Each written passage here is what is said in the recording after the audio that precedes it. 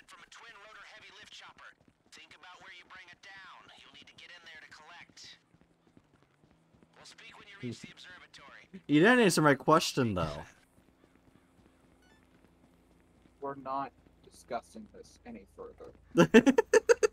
What's wrong with turning a Russian guy into a prostitute? I don't see a shut, problem with it. Shut your fucking mouth.